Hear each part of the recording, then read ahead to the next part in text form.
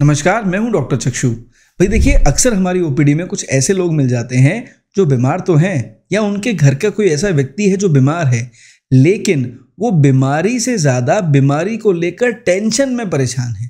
और उस टेंशन के चक्कर में उनका दिमाग चौबीसों घंटे सिर्फ़ बीमारी के बारे में, लक्षण के जानने के बारे में, दवाई जानने के बारे में, इलाज जानने के बारे में, बढ़िया डॉक्टर ढूँढने के बारे में घूमता चला जाता है।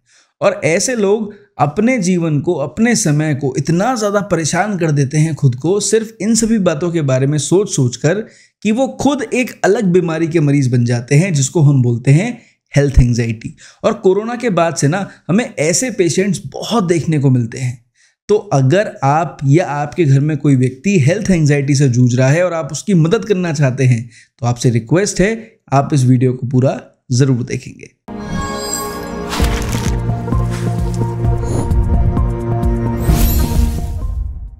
तो सबसे पहले चर्चा कर लेते हैं इस वीडियो में कि ये हेल्थ एंजाइटी क्या है। देखिए हेल्थ एंजाइटी को डॉक्टरी भाषा में बोलते हैं इलनेस एंजाइटी डिसऑर्डर यानी आईएडी अब इसमें क्या होता है कि मरीज़ जो है, वो हर समय सिर्फ़ बीमारी के बारे में ही सोचता चला जाता है।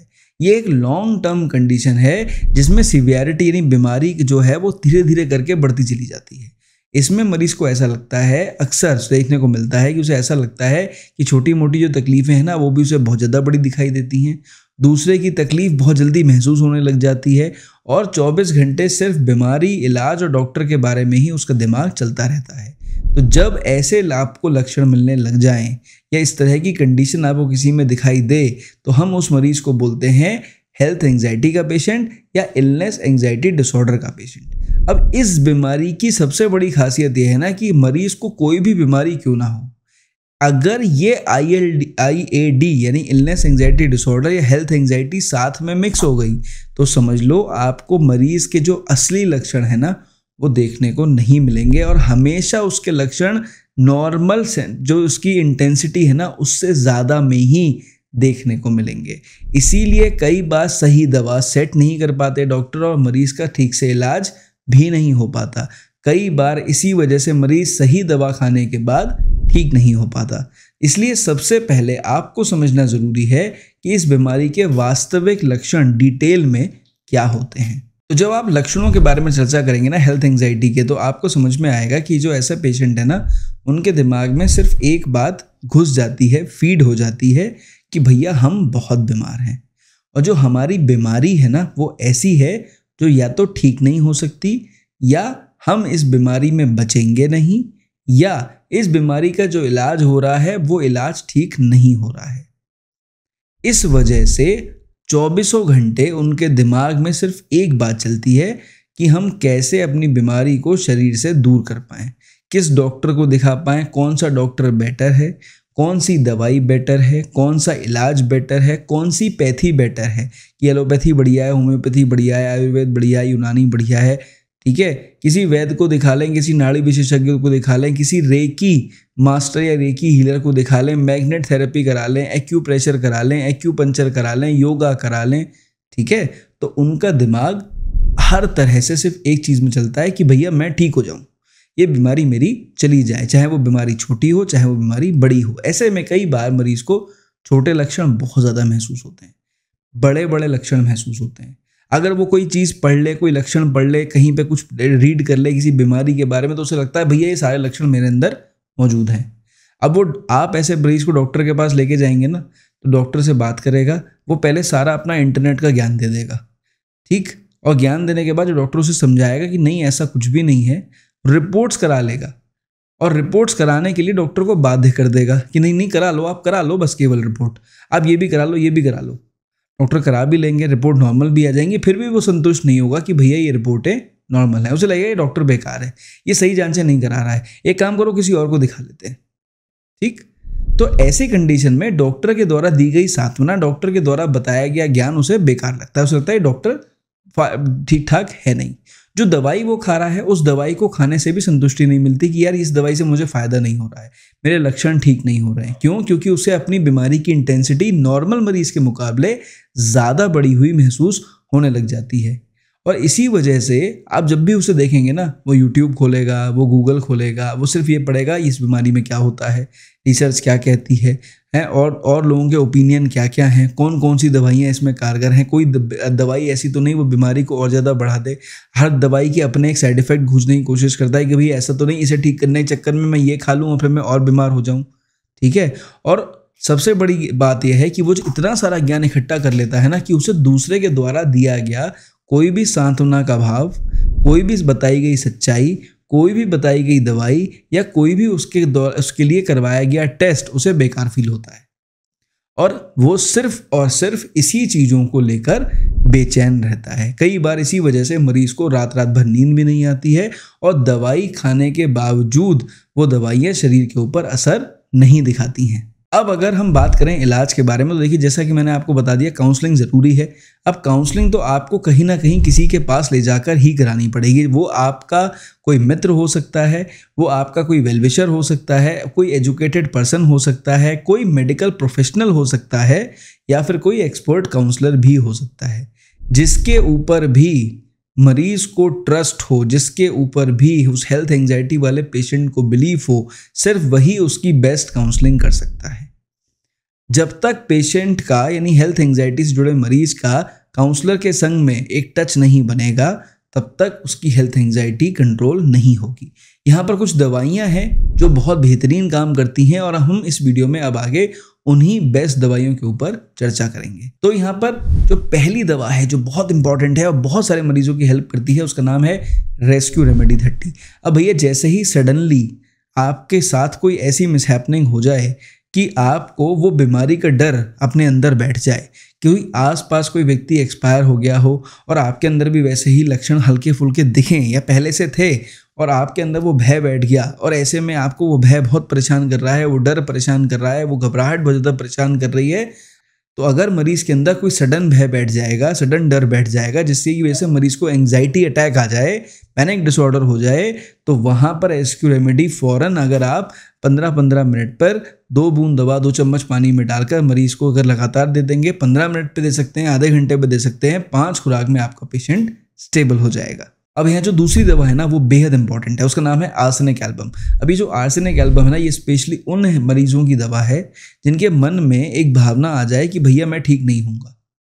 और हर समय दिमाग में चौबीसों घंटे बेचैनी बने रही। दिमागी तौर पर मरीज़ इतना बेचैन है, लेकिन शारीरिक तौर पर इतना कमज़ोर है कि उससे हिल नहीं मिल रहा है। पर दिमाग चलाता जा रहा है। बेड पर लेटा है ऑलरेडी बीमार है बीमारी के बारे में जानता है, डॉक्टर से मिल चुका है, लेकिन अब उसके दिमाग में सिर्फ़ और सिर्फ़ बीमारी का कीड़ा घुस गया है।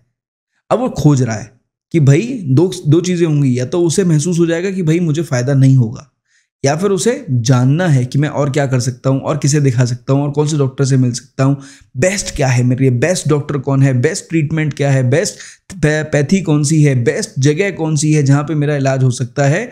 और अगर आपको लगे कि ऐसे पेशेंट की अपनी बीमारी के बारे में सोचने से तकलीफ़ और बढ़ गई है। तो समझ लीजिए, आर्सेनिक एल्बम बेस्ट मेडिसिन है।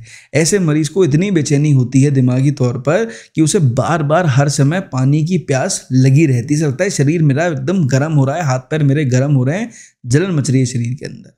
सिर्फ़ सोचने की वजह से बीमारी बढ़ने लग जाए, उसके बाद ही सिम्टम आने लग जाए, प्यास बढ़ने लग जाए बार बार पानी पीने की इच्छा करने लग जाए, समझ लीजिए ये मरीज़ को आर्सेनिक की ज़रूरत है। ऐसी कंडीशन में इमरजेंसी में आर्सेनिक एल्बम 200 दो बूंद दवा, दो चम्मच पानी में डालकर आधे आधे घंटे पे तीन खुराक अगर मरीज़ को दे देंगे, आपके पेशेंट की उस समय की घबराहट तो कंट्रोल हो जाएगी। पर अगर बहुत समय से आप अपने मरीज़ को ऐसा ही बेचैन देख रहे हैं और आप ये भी देख रहे हैं कि वो बीमार ना पड़े, कोई और उसके घर में बीमार ना पड़े, इसलिए वो इतनी सफ़ाई करवाएगा, इतना प्रिकॉशन रखेगा, इतना ध्यान रखेगा कि उसे डर है कि भाई अब बीमार नहीं पड़ना दोबारा।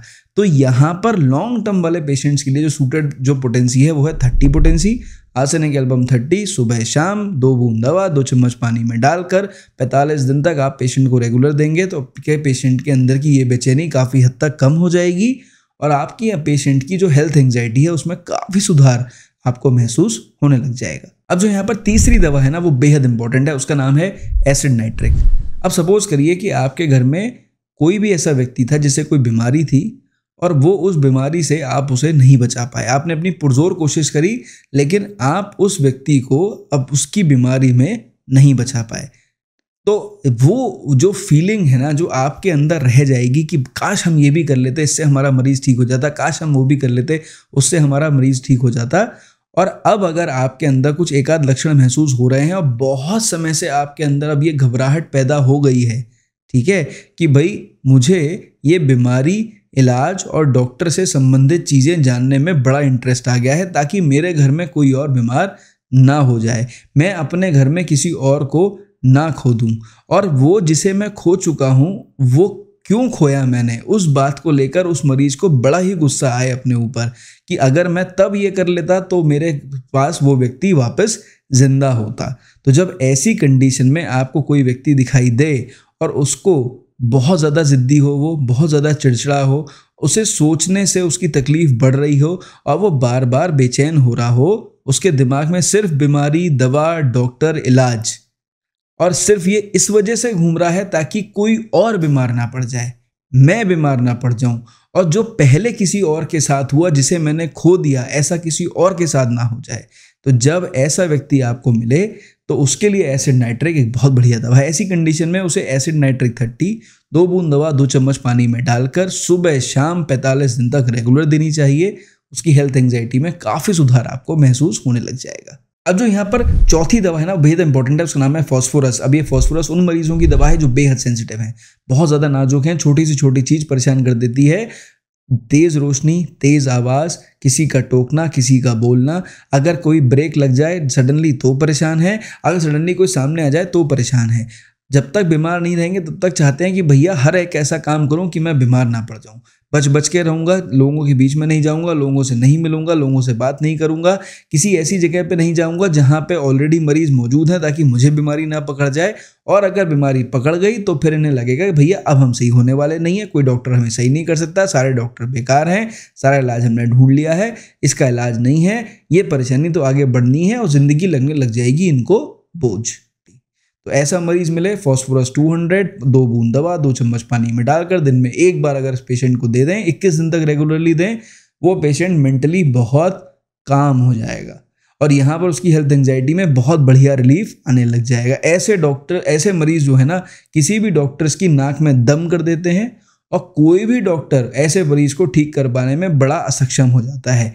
यहाँ पर फॉस्फोरस इसीलिए एक लाजवाब दवा साबित हो जाती है। अब जो यहाँ पर पांचवी दवा है ना, वो सबसे इंपॉर्टेंट है और वो दवा ये का नाम है एकोनाइट ये एकोनाइट उन पेशेंट की दवा है जब बेचैनी, खौफ में कन्वर्ट हो जाए और जब वो खौफ आ जाए, बीमारी को लेकर कि भाई अब मैं नहीं बचूँगा, अब मैं मरने वाला हूँ, ये बीमारी मुझे लेकर जाएगी और मरीज़ कहने लग जाए कि भाई मैं इस दिन, इस घड़ी मर जाऊँगा, मुझे बचा नहीं पाओगे। और उसकी ज़िंदगी इसी खौफ की वजह से, इसी बीमारी के डर की वजह से जो है, बिल्कुल बुरी तरह से मिजरेबल हो जाए। मिजरेबल मतलब ऐसी हो जाए, बिल्कुल जिसके ऊपर आपको लगे कि तरस आ जाए। तो यहाँ पर एकोनाइट ऐसे पेशेंट्स के लिए इमीडिएट देने वाली दवा है।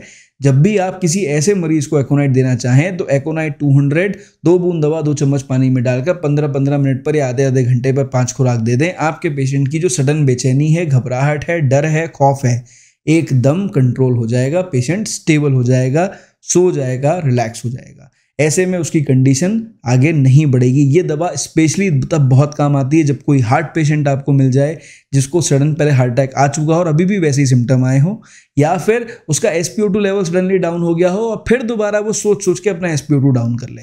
तो यहाँ पर aconite napellus is a very good remedy emergency में इस्तेमाल करने वाली लाजवाब दवा है। तो मैं आशा करता हूँ इस वीडियो में जो आपको जानकारी दी है ना, बिल्कुल क्लिस्टर क्लियर थी टू द पॉइंट थी और आपके फ़ायदे के लिए थी। तो अगर आप अपने मरीज़ को हेल्थ एंगजाइटी से ठीक करना चाहते हैं, जो दवाइयाँ बताई हैं, उन्हें इस्तेमाल ज़रूर करें। फ़ायदा मिले कमेंट सेक्शन में ज़रूर बताएँ। पहले कभी करा हो और रिज़ल्ट मिले हों तो भी ज़रूर बताएँ। अगर आप खुद मदद नहीं कर पा रहे हैं मरीज़ की, मेरी मदद की आवश्यकता है व्हाट्सएप पर मेरे स्टाफ से संपर्क करें।